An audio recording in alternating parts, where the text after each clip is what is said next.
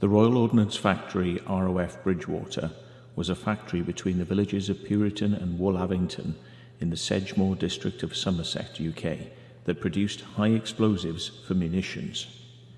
BAE Systems closed it when it was decommissioning in July 2008. It produced the new type RDX high explosive, which was easier to transport due to its less triggerable nature.